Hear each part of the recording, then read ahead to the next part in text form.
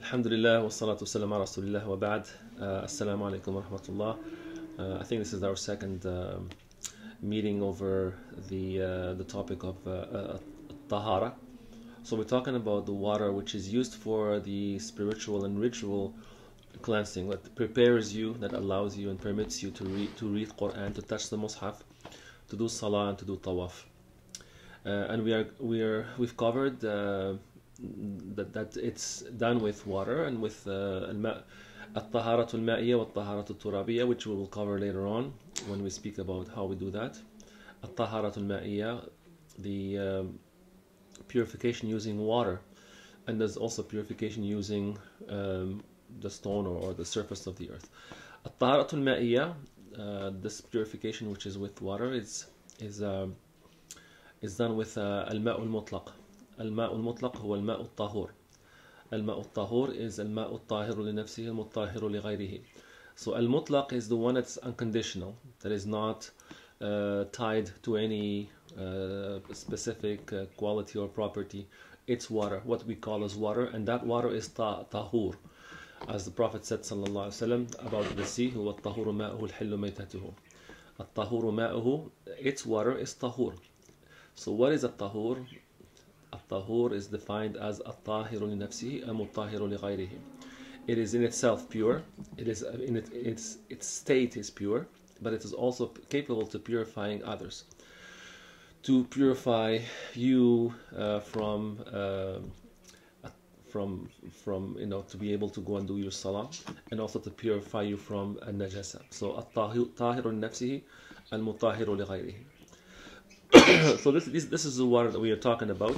And this state we want to define this as at-tahuriyya at-tahuriyya uh, it's tahur but when we are going to discuss this the property of this water being capable to do such a thing it's at-tahuriyya uh, so it's uh, just definitions. So we we, we spoke about how how this water is uh, maintains its tahuriyya, its properties of, of, of tahuriyya. And today we are um, speaking about, let's say, let's see, let's see, أجزاء الأرض كمغرة ملح أو بما طرح منها ولو قصدا. So this water, uh, which let's say it's in a natural state outside in the basin, in the forest, uh, in the well, this water, as as long as it's natural, it, it is it is tahur. It's got its property of tahuriyya uh, whether it is changed whether it has been changed or uh, with anything but that, that, that was natural. So a which is an ochre or, or the natural uh, earthly pigmentation could be red or, or green or blue or from the salt or from anything that has been thrown in it. Even if even if it was on purpose. So if the salt has been thrown in that basin of water on purpose, the uh, mashhur of the uh, the preponderant opinion of the madhab is that it does not remove or alter the uh, the properties of, of the water. Even if those three properties are changed, it changed its color, it changed its smell or its taste, its tahuriya it remains intact. أو بدابغ طاهر كقطران أو بما يعسر الاحتراز منه كتبن أو ورق ورق شجر I believe we have covered this so even if this water its three properties that we've just mentioned the smell the taste and the and the and the color even if these properties have changed أو uh, with with the following بدباغ uh, the tanning of the leather or the tanning of the, the tanning of leather or the tanning could be done with different properties. It could be done with uh, fluid that is like tar, tar or something else.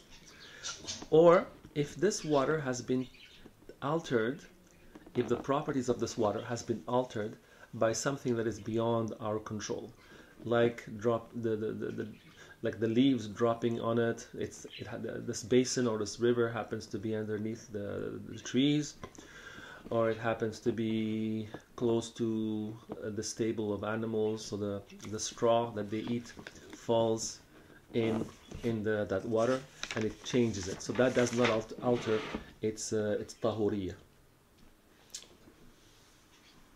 And then he mentions here Imam al-Dardir rahmatullahi alayh He mentions uh, different uh, situations and because it's beyond our, our capability or our uh, you know we cannot we cannot make those those changes because it's beyond our, our control then it became it, it remains those, those it remains it uh, maintains its uh, tahuriyah ولا إن خف التغير ولا إن خف التغيير بآلة سقي also also if you if we if we have if we're using that water for farming and uh, certain instruments have been used in the past he mentions the different forms of instruments in, in, in, in today as well.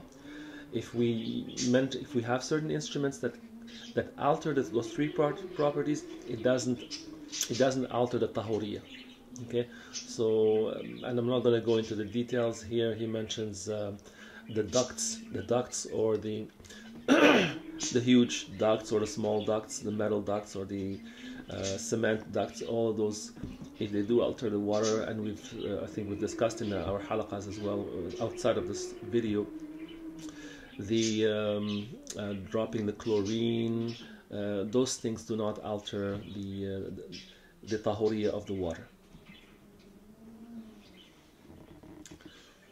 and then we we have um,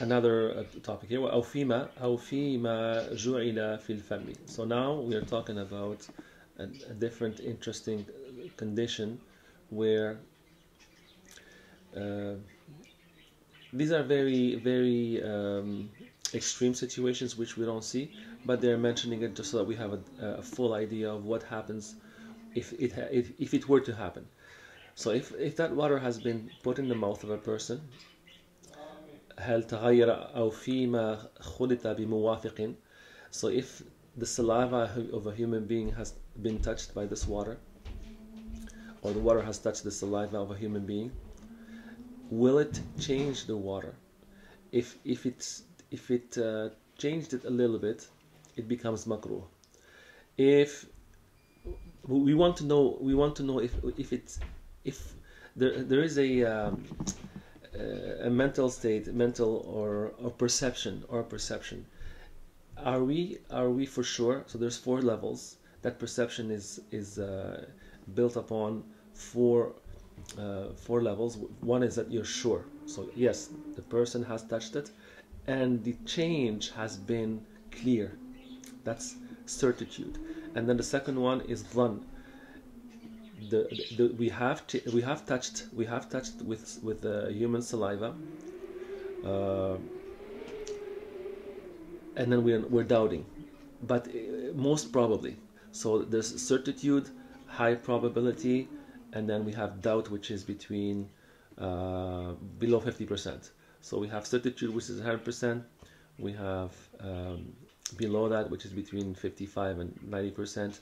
That's called the dhan and then we have less than 50% which is a shak doubting. And then we have wahm which is uh, you know you're just imagining it.